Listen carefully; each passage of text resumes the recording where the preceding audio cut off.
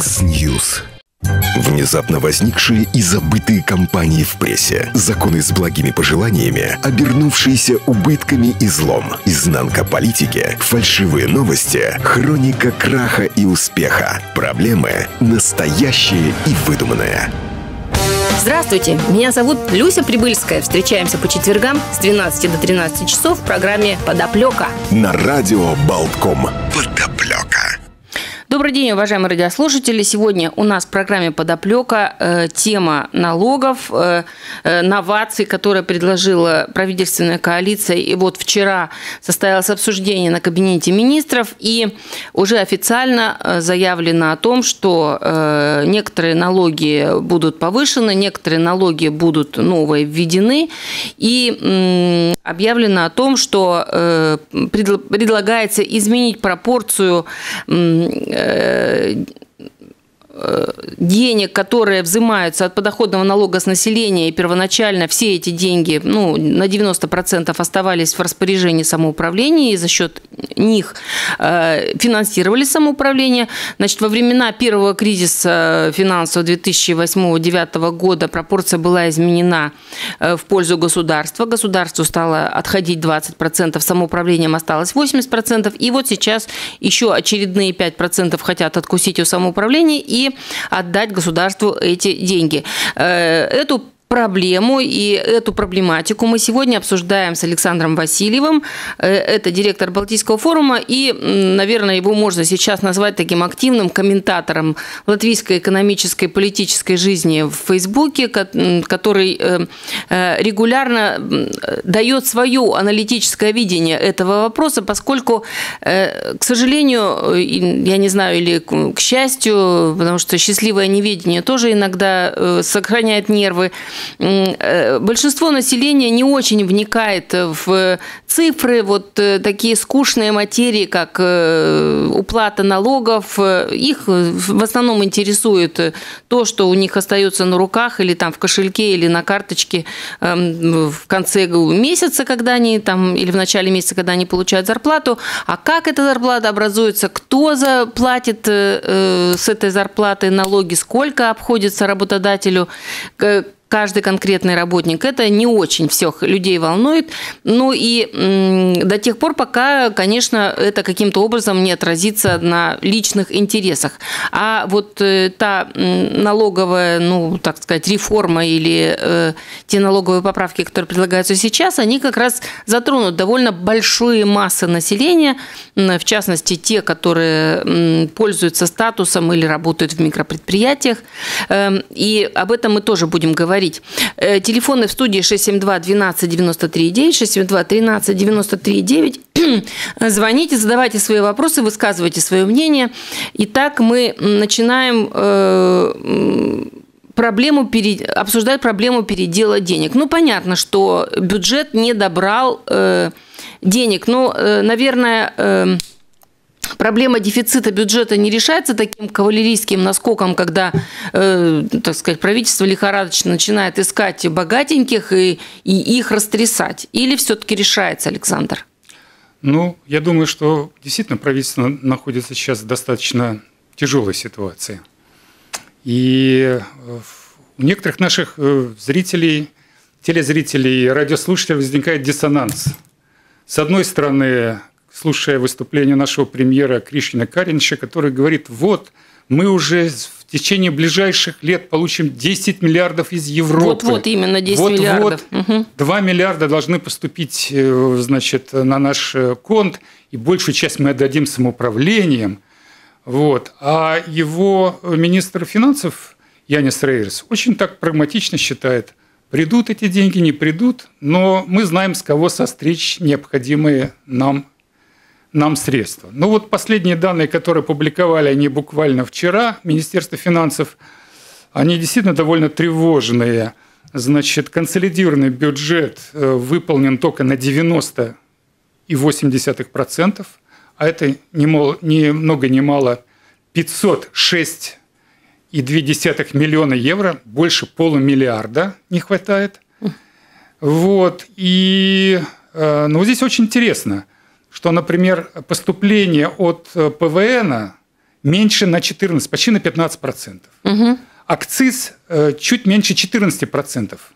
Но поступления от дохода от населения выросли. Вот это вот тоже как бы очень большая проблема, как во время кризиса могут вырасти доходы населения на 4,1%. И мы знаем, что большая часть, вот то, о чем вы, Люся, говорили, большая часть э, до сих пор 80% от этого налога шло значит, нашим самоуправлением, и поэтому неудивительно, что э, значит, э, господин Рейерс решил запустить руку именно в этот бюджет. И вот как раз о чем вы говорили месяц назад, когда появились данные за первые полугода, выяснилось, что бюджет самоуправлений наполнен, э, наполняется с избытком в 101 миллион евро, в то время как государственный бюджет по сравнению с 2019 годом сократился на 811 миллионов.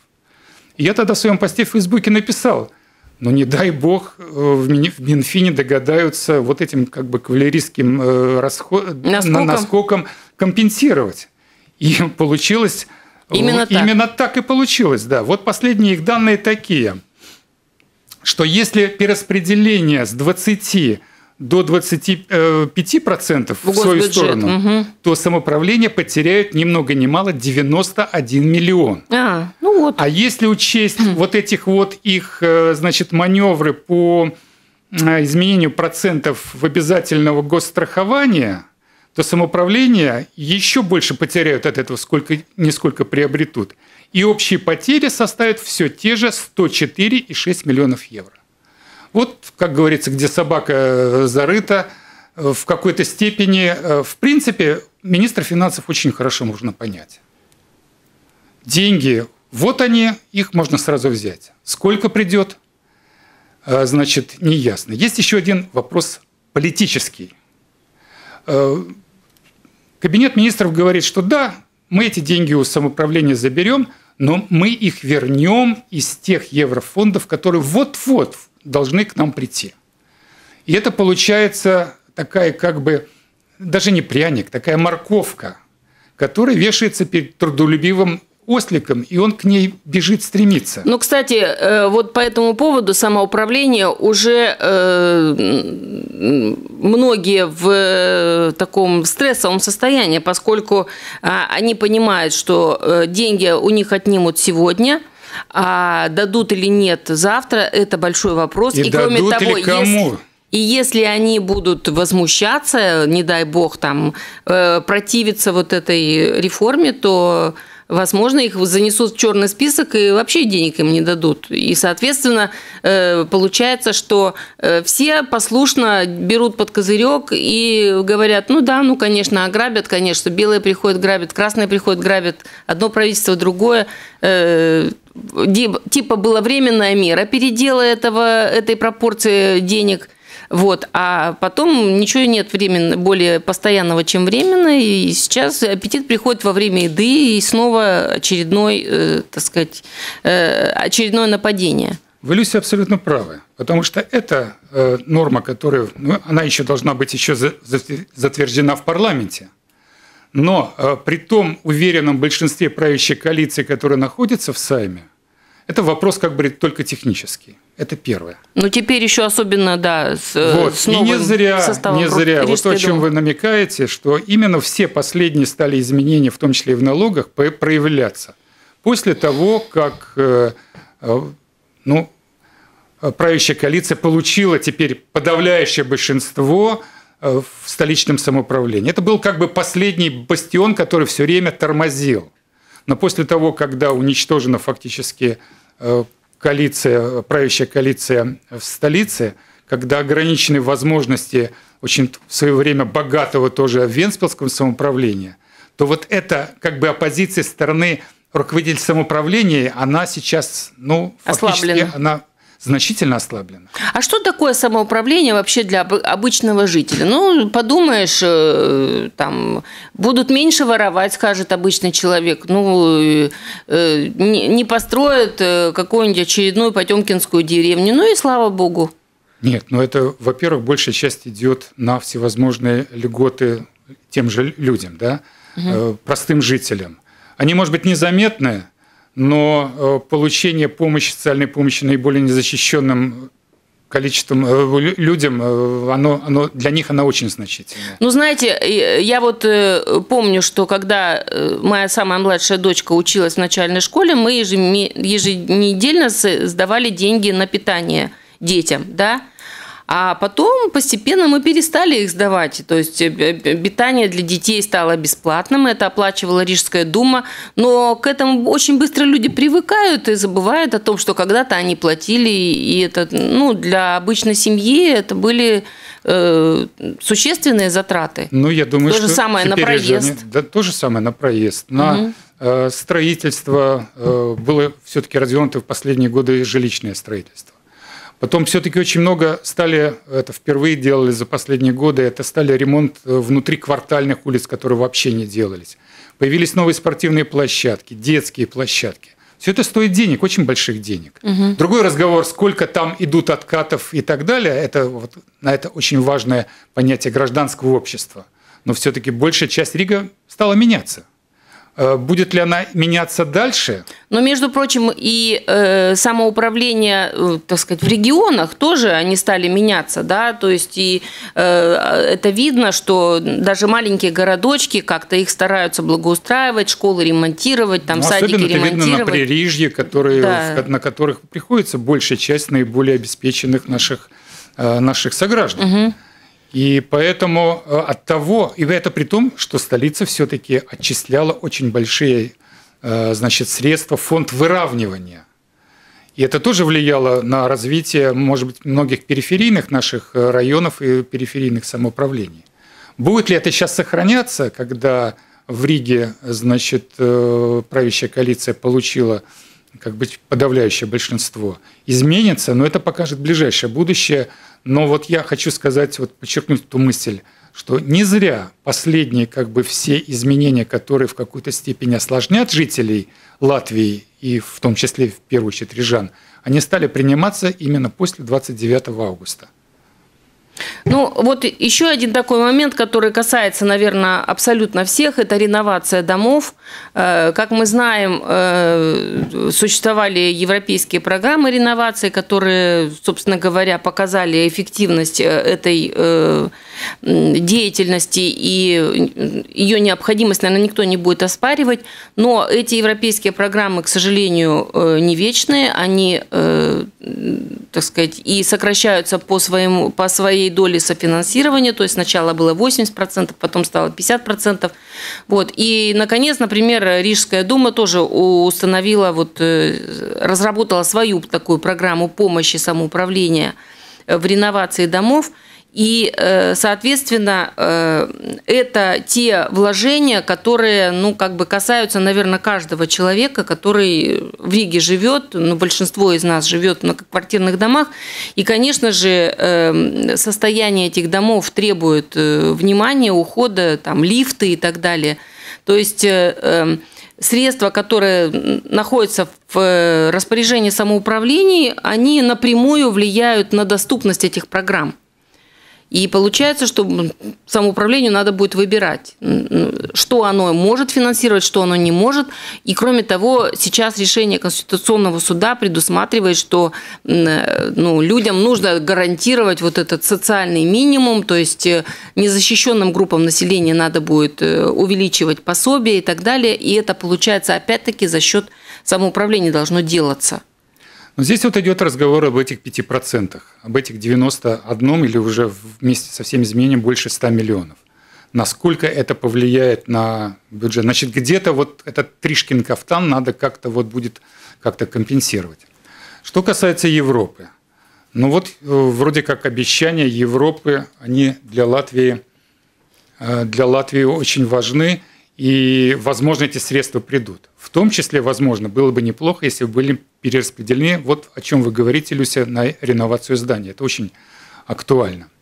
Но, по-моему, э, Черчиллю приписывается э, такая фраза крылатая, чем отличается государственный деятель от политика. Политик думает о том, как ему дожить до следующих выборов.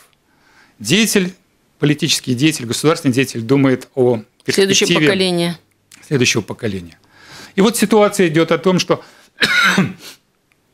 следующие выборы в самоуправлении состоятся уже вот, вот скоро уже, следующий в конце э, весны, начале лета следующего года. Ну, во всех, кроме Риги. Во всех, кроме Риги. Угу. Но если вот это все, как говорится, прокатило в Риге, этот вот напор, вот это давление, в том числе и в средствах массовой информации на избирателей, которые не пришли, возможно, и проголосовали ногами, вот, или диванами. Вот. Может быть, получится у оппозиции отобрать влияние в Резакне, в Даугапилсе, в Юрмале, в Лепое, в Елгове. И тогда вот это вот доминирование правящих, э, правящих партий будет абсолютное. И э, очень, очень возможно, что деньги из Европы придут. Но когда будут их делить, то я боюсь, кому-то скажут, ну, извините, вот вы как бы становитесь в конец очереди. И я очень э, боюсь и тревожусь за тех самоуправления, которые руководят сейчас оппозиционными партиями. Они недополучат эти 5%, но на них будет оказывать рычаг и каждый раз давление о том, что вот, вот придут другие. Это сократили, это сократили. И мы, да, угу. вот вы сейчас будете в ближайшие, скажем, более чем полгода находиться в дефицитном бюджете, а вот потом, когда власть поменяется и у вас, вот тогда хлынет, опять же, может быть.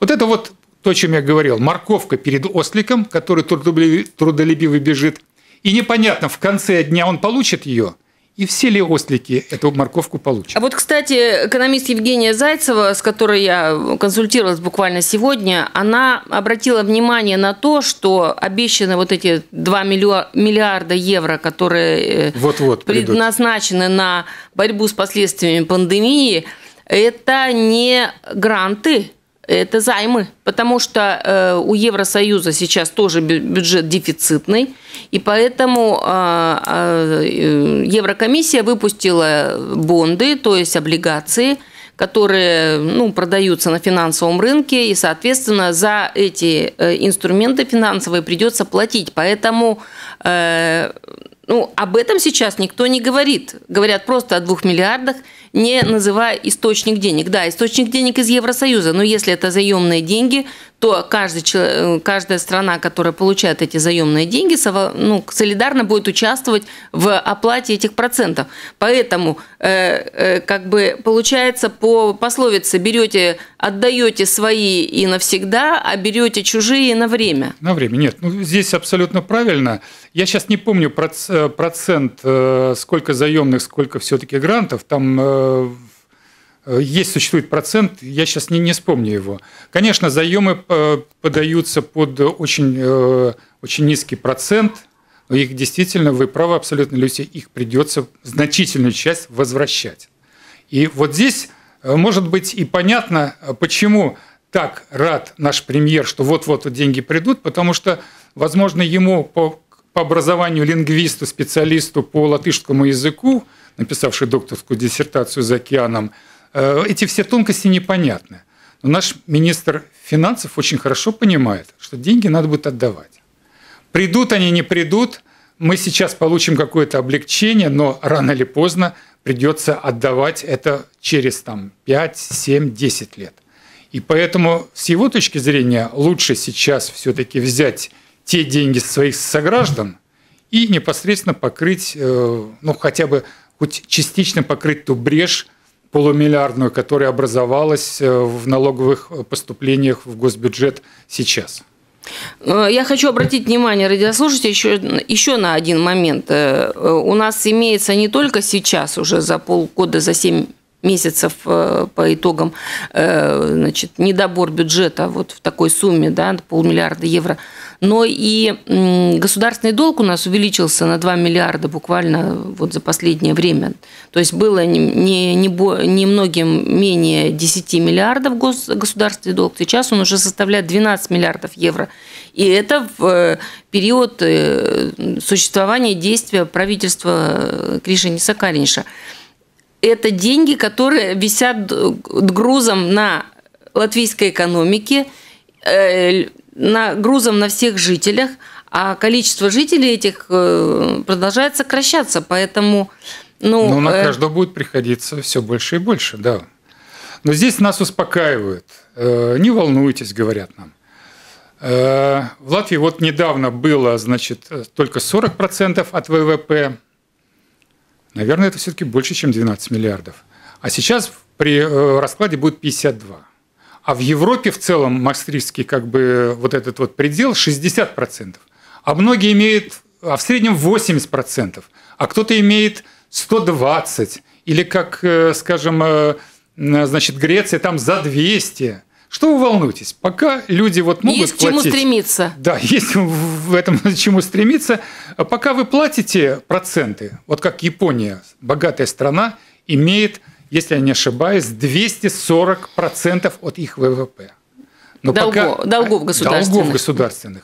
Но пока это только государство, не, не считая частных. Но пока они оплачивают проценты и каждый раз перекредитуются, а в связи с тем, что сейчас вот эта процентная, банковская процентная ставка очень низкая, а иногда даже отрицательная, то не могут себе это позволить.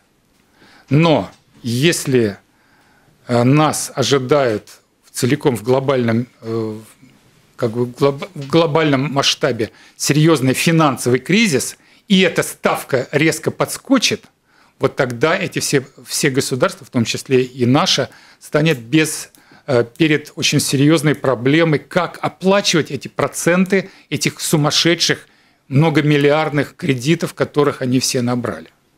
И вот здесь, конечно, э, пока эта ставка низкая, нас успокаивает, что все нормально, но если эта ставка вырастет, э, процентная ставка, и кредиты будут, то есть многие страны окажутся не в состоянии оплачивать вот эти процентные ставки и обслуживать полученные ранее кредиты. Ну, э, уменьшение населения – это еще один вопрос, который касается самоуправления, поскольку даже вот те э, проекты, которые были реализованы на гранты, у них существуют свои, э, ну, как бы красные линии или свои обязательства, да, которые самоуправление берет на себя. То есть, например, если оно отремонтировало школу, за счет вот этих грантовых денег, а школа закрывается, то деньги надо Евросоюзу вернуть. И никто вот не считал э, объема этих, так сказать, рискованных э, обязательств, которые могут образоваться таким образом, когда э, ну, из-за недостатка рабочих мест или каких-то других причин люди будут покидать э, свои э, насиженные места, переезжать куда-то в другие, и, соответственно, школы будут лишаться учеников, там детские сады воспитанников и так далее.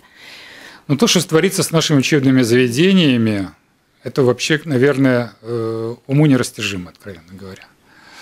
А, мы стараемся на в общественную сферу, которая выполняет очень важный как бы, общественный заказ, переносить э, принципы коммерции. Мы начинаем к образованию э, подводить принцип вот, экономической целесообразности – и в результате закрываются многие сельские школы, да и в Риге очень многие школы закрылись, укрупняются. И э, в этом случае э, особенно это заметно, конечно, в сельской местности, когда э, школа была сосредоточена не только получения образования, она носила очень важный и культурный, и очень ну, просветительский центр жизни, да, было. целиком. Угу. И если она закрывается, замирает вся жизнь. И люди окончательно выезжают из этих перебираются либо в какие-то краевые, как у нас принято говорить, центры, либо вообще в Ригу, либо уезжают вообще за рубеж. И э, подводить под коммерческие принципы деятельность учебных заведений – это неправильно. Э, продолжая эту тему, э, значит, э, столичное самоуправление сейчас очень гордится тем, что предприятия самоуправления, скажем, Рига Снамо Парвалникс, э, получают большую прибыль, какие-то вот очень серьезные коммерческие как бы достижения. Но предприятия самоуправления должны, главная их цель не получить доход и платить потом какие-то дивиденды или какие-то высокие зарплаты своим руководителям, а обеспечивать, давать услуги населению. Они по принципу должны быть бесприбыльные. Все должно уходить на фактически на исполнение конкретных услуг для населения. И вот это введение, я не знаю, это крайний либерализм – в, нашей, э, в нашем государстве, который касается и учебных заведений, дошкольных учебных заведений. Э, предприятия самоуправления приводят к тому, что люди не понимают, почему, почему вот э, вроде как будто бы эти государственные учреждения и органы самоуправления должны стоять на их защите их прав и оказывать им услуги по наиболее как бы оптимальной и низкой цене, а они пытаются как-то еще получить дополнительную прибыль с них самих. Что им не хватает скажем, что их, э, скажем, э, как бы стригут там предприятия э, торговли или там они получают недостаточно высокую заработную плату на своих местах, где они работают. Вот это вот понятие получить экономическую выгоду везде, она как бы дополнительно загоняет наше государство вот это вот как бы в конкретный угол. Чем дальше мы, чем больше мы работаем, тем больше с нас пытаются состричь э, каких-то э, налогов, каких-то, значит, э, каких-то дополнительных отчислений и так далее. И вот это вот получается, может быть, поэтому у нас и такая сложная ситуация в экономике, что вот эти вот дополнительные поборы, налоги, даже в сравнении с нашими соседями, с Литвой и Эстонией, они слишком высоки. И многие зарубежные компании, это об этом мы не раз говорили, в том числе и в этой студии, начинают покидать Латвию. Да, Здесь... уходить в Эстонию. Сейчас уже, кстати, Здесь и метрики об этом думают. У нас есть звонок, давайте послушаем. Добрый день, говорите. Здравствуйте. Вопросы образования, медицины, ну и так далее. Да? Это все вопросы безопасности страны. То есть не будет э, функции у государ... этих функций у государства, и народ будет либо глупый, он не, не, вообще не будет понимать, что творится, да его просто может любой поработить. Вот, либо будет просто умирать от, от болезни, да, либо убежит отсюда. То есть, ну, то есть это ясно, что это безопасность. Значит, нами управляют э, преступники. Надо так и говорить открыто. Спасибо. Угу. Вот я тут прочитал как-то такую мысль. Э, чем ниже подготовка нашего подрастающего поколения, тем больше в их глазах деятельность нашего правительства выглядит выдающейся. Вот это, конечно, ну, в какой-то... Тут трудно не согласиться с нашим э, уважаемым радиослушателем, э, что вот эти все моменты приводят к тому, что люди начинают собираться и в семье говорить, пора валить. Ну, кстати, вот э, на самоуправление возложена еще такая важная э, функция, как э, коммуникация фактически с обществом, с гражданским обществом. Ну, потому что она фактически да. ближе к нему, да, ближе да. находится. То есть э, э, различные общественные инициативы, организации общественные, в том числе национальных меньшинств и так далее, они все финансируются фактически из э, бюджета самоуправления. И в этом плане, конечно, э, в Риге, э, ну, в частности, э, и там в Латгалии, я знаю, такие инициативы, э, они э, достаточно хорошо развивались в последнее время. Там были созданы какие-то центры культурные и так далее. То есть э, самоуправление имели возможность вот детское творчество поддерживать. Там в Резекне там вот этот центр Зеймулис создан, карандаш, который фактически предоставляет возможность бесплатно жителям Резакна и Резакнинского края э, заниматься в различных студиях, их огромное множество.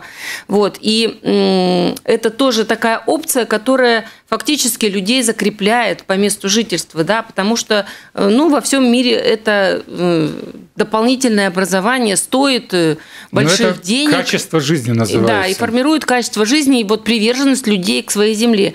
Получается, что если денег на это будет недостаточно, то и эти функции каким-то образом будут обрезаться. И в том числе там факультативы в школах, которые оплачивает самоуправление, тоже какие-то кружки, возможно, возможность учителям дополнительно какие-то деньги получить за вот эту работу.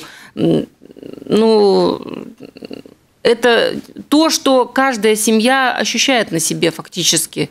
И... Вот здесь бы я бы э, сказал бы как бы в дополнение этого, Люся, вы абсолютно правы. А когда люди э, принимают в своем как бы семейном кругу э, и решают свою дальнейшую судьбу, далеко не всегда как бы доход, который они получат, именно деньги, решает решающую роль. Они начинают думать о том, а что будет с образованием наших детей? И здесь в том числе проблема, острая проблема языка образования.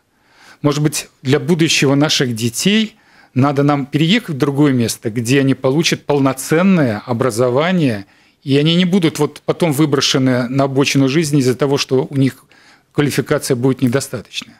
Если для операции или какой-то элементарной э, какой-то медицинской э, значит, процедуры тебе надо месяцами ждать, они начинают думать, может быть, надо переехать в ту страну, которая предоставит ну, соответствующее качественное медицинское образование. А, да, обслуживание. Тоже с культурами, какими-то культурными центрами, о чем вы сказали. Вы абсолютно правы. И люди начинают думать. Вот это повторение может быть э, полувековой, э, полувековой миграции э, людей, которые из Советского Союза уезжали на Запад. Они понимали, что он имеет докторскую диссертацию, не сможет работать по своей специальности, получить адекватную должность. Но они умышленно ехали туда и говорили, пусть я буду работать уборщиком, но мои дети будут адекватными гражданами и получат адекватное образование – социальную, будут социальную, получат гарантированную социальную помощь и получат медицинской и так далее, и так далее. Вот этот уровень качества жизни. И э, я боюсь, что не на уровне самоуправления, может быть, самоуправление все-таки и отдельные очень хорошо думают и чувствуют это. Вот в силу того, о чем вы, Люся, сказали, что они ближе, ближе к гражданам, ближе к народу. Угу. Но вот это часто политика государства и вот это вот э, высокомерие правящих политиков, которые могут себе позволить могут себе позволить пренебрегать любыми решениями при решении своей, принятии решений и по налогам, о чем мы сегодня говорили, и по принятиям конкретных программ, и в распределении бюджета. Вот. Они могут игнорировать реальные какие-то просьбы и требования населения своих сограждан. И, конечно, можно спорить о том, сколько бюджетных средств но если мы из бюджета вычисляем, отчисляем э, почти 7% на оборону, и надо ли это нашей стране, это большой вопрос. Или, скажем, почему так мало уходит на медицинское образование, э, на медицину и на образование, это другой вопрос. Может быть, здесь сколько уходит у нас на науку, если сравнить это в процентном отношении в два раза ниже, чем в Европе. Ну, вот вы сейчас говорите это о науке будущее. и так далее. То есть э, скажут, ну и хорошо, правильно, надо госбюджет больше денег, чтобы перераспределить на науку, на, э, там, на медицину и так далее. Ведь это госбюджет оплачивает. Однако же э, получается, что ну, та тенденция, которая вот наметилась какое-то время назад, и э, когда говорили о том, что э, в принципе вот э, с федерализацией Евросоюза вообще роль э, правительств э, национальных она будет э, снижаться, поскольку все решается в Брюсселе, так, по большому счету, а фокус будет переходить на самоуправление, поскольку они действительно вот работают на земле, непосредственно связаны со своими жителями и, э, соответственно, лучше могут Э, ну, чувствовать, куда э, так сказать, направлять деньги, кому лучше помогать, кому эффективнее помогать, а кому, может быть, не надо помогать. Э, сейчас получается, что идет обратная какая-то эм, тенденция, что правительство забирает больше рычагов власти себе, и фактически самоуправление становится таким ну, придатком, э, слугами, что ли, правительства, а не э, самостоятельными институциями, которые планируют развитие своей территории. Нет, Люси, это тезис о том, что вот мы как бы в единой европейской семье, о том, что основа всего это самоуправление, местное самоуправление, это я слышал, когда еще был на государственной службе. Но ситуация с тех пор сильно поменялась. Мы же видим, что тенденция, особенно после Брексита, она стала противоположной. И каждый, особенно в Восточной и Центральной Европе, правительства и национальные правительства стали больше заботиться и перетягивать одеяло на себя. И все это упирается еще в то, что э, в Брюсселе оказывается все меньше и меньше средств, которые они могли поделиться. И когда вот эта копилка, которая считалась неиссякаемой, начинает, э, средства в ней начинают заканчиваться, каждый начинает думать о том, а не слишком ли я много переплатил? Может быть, надо бы как-то бы ограничить, и вот этот сигнал Брексита выход Великобритании показал. Они, возможно, потеряют гораздо больше, чем они бы могли получить от общего рынка, от общих э, экономических проблем и так далее. Но они считают из-за того, что, скажем, те э, отчисления, которые мы происход... производим, они на несколько миллиардов меньше, чем мы получаем впрямую. Угу. И поэтому они начинают просто считать вот так вот, без каких-то вот больших э, рассуждений, без больших, э, значит, э, каких-то вот, расчетов кстати, более этот, глубоких. Этот тезис, кстати, тоже Евгения Зайцева подтвердила. Она говорит, что большие страны, которые были донорами, они конечно, сейчас задумываются. Они том, сейчас да. задумываются, они оставляют деньги у себя, не вкладывают, а э, Евросоюз для того, чтобы предоставить финансовую помощь, берет, э, выпускает эти евробонды. Получается, что бедные страны начинают платить больше. У нас есть звонок, давайте послушаем. Добрый день, говорите. Добрый день. Если позволите, два замечания там да. вопроса. Вот угу. вы сказали, отдавать придется. Но отдавать не придется. То есть по долгам будем платить вечно проценты. Да. Отдавать не придется хотя бы потому, что не из чего отдавать. Эти миллиарды, они ниоткуда не возьмутся. И все прекрасно это понимают. Это просто как бы узаконенное рабство. Ну, не рабство, может быть, эпитет надо послабее. И вот звонил человек передо мной и сказал преступники. Ну, мы можем разными эпитетами, оперировать. Но вот про Рейса конкретно я хотел бы напомнить. Это вот просто человек, и вот все это, весь этот конгломерат людей, это абсолютно бессовестные люди. То есть 16-й год, напоминаю в очередной раз, идет забастовка учителей, 23 марта, по-моему. И заседает комиссия финансовая во главе Шадурских. Рейерс тоже тогда был, значит, также был министром финансов. Повышают в этот день забастовкой под окнами себе зарплату на тысячу. И вот все, что сейчас вы говорили про Рейерса, это кабинет министров, просто люди примитивно, вот просто так, ну, как бы не задумываясь, тупо в свой карман деньги и на все плевать. Так что до преступников им еще дорасти надо. А просто вот такое примитивное такое вот казнократство – по, по всем статьям. Даже не казнократство это, а, а обворовывание страны. Глобальное, так, без, ну, это не безответственность, понимаете, вот эпитеты. Тут просто люди, кроме того, чтобы получить прибыль себе, вот тысячу прибавить себе в день, зарпла... в день забастовки учителей, примитивно. Это отложи хотя бы на пару дней. И вот то, что делается сейчас. Просто деньги взять отсюда, сюда, потому что тогда, значит, кабинет министров их перераспределяет, как он хочет – то есть, значит, получается, они в любом случае делают это э, как бы в свою пользу. Ну, конечно. Нет, сейчас Понимаете, так что вот это надо понимать, это просто людям надо разжевывать, это же почетные, уважаемые люди, это наш истеблишмент, это просто абсолютно, значит, примитивно мыслящие, некомпетентные люди, которые кроме как э, э, свой карман получить эти деньги, значит, стяжательство, ни о чем не думают. Понятно, ну, спасибо вам да. за ваше мнение. Да, у нас есть еще звонок, давайте еще послушаем радиослушателя. Добрый день, говорите. Добрый день. Вы знаете, мне наше правительство напоминает одного моего знакомого, который занимал деньги у людей, чтобы отдать предыдущий долг. Только в отличие от нашего правительства, у него с нервами было не очень хорошо, он плохо спал. А наше правительство занимается... Спит хорошо. Не спит хорошо, да. Спасибо. Э, ну да. Э, Тут трудно не согласиться с нашими радиослушателями, но это действительно так. А я думаю, это вот это бессовестность, наверное. А с другой стороны, э, поймите, они политики, они живут от выборов к выборам. И их постоянно выбирают. Ведь вот он был в 2016 году министр, и сейчас министр. И он до этого был министром. Ну, тогда это вопрос а к до нам. этого был комсомольским работником. Ну, это было 30 лет назад. Да. Вот. Э, вот они, вот она идет, э, как бы вот эта вот преемственность. Но извините, но тогда надо откровенно говорить, э, а кто такие мы и как мы? Почему, Почему мы их избираем? Выбрали? Почему каждый раз? Что это вот эта тряпка, как иногда красная тряпка, это, скажем, русские идут или латыш не сдавайся, это один вопрос или какая-то подачки, которые бросают перед выборами и которые все решаются, а сразу после выборов, вот то, чем мы наблюдаем сейчас, начинается закручивание гаек, потом где-то нас приспустит нам навешивают, опять же, э, извиняюсь за выражение, лапши на уши, и мы опять послушно идем и голосуем за тех же. Ну, кстати, слушайте, вот я вчера изучала ситуацию с этими пресловутыми 500 евроми, которые э, декларировала новая консервативная партия перед выборами. 500 евро необлагаемый минимум, 500 евро э, минимальная зарплата, 500 евро э, необлагаемый минимум пенсии.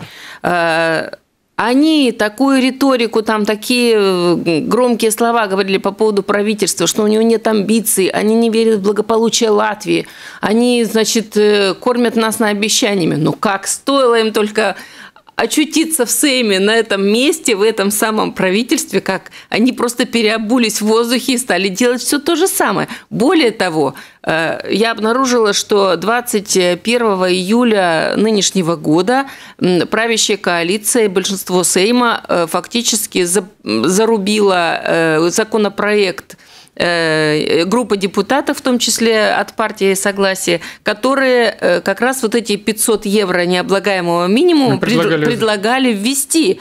Э, этот законопроект не прожил и трех недель, как правящая коалиция, которая, часть из которой предлагала это – Э, законопроект этот э, зарубила. Э, у нас есть еще звонки. Спасибо вам большое, что вы участвовали в программе сегодня. Мы обсуждали налоговые новации, которые предлагает сегодня правительство. Вчера на заседании оно концептуально поддержало изменение режима микропредприятий, которые фактически ставят крест на этой форме предпринимательской деятельности. Оно поддержало изменения в уплате подоходного налога с населения и перераспределение э, подоходного налога э, с населения, которое ранее оставалось в распоряжении самоуправлений, опять-таки в пользу госбюджета, то есть у самоуправления будет меньше денег на э, финансирование программ развития своих территорий, на помощь социальную жителям, на поддержку образования, медицины и других программ. Но, к сожалению, ситуация такова, какова, какова она она есть, а в следующей программе мы постараемся поподробнее и на пальцах объяснить, э, в чем состоит ложь э, вот вчерашнего решения Кабинета министров, которое было подано как шаг к большей социальной защите населения – а реально э, все будет ровно наоборот. Э, новые э, инициативы Министерства финансов, к сожалению, э, приведут к тому, что э,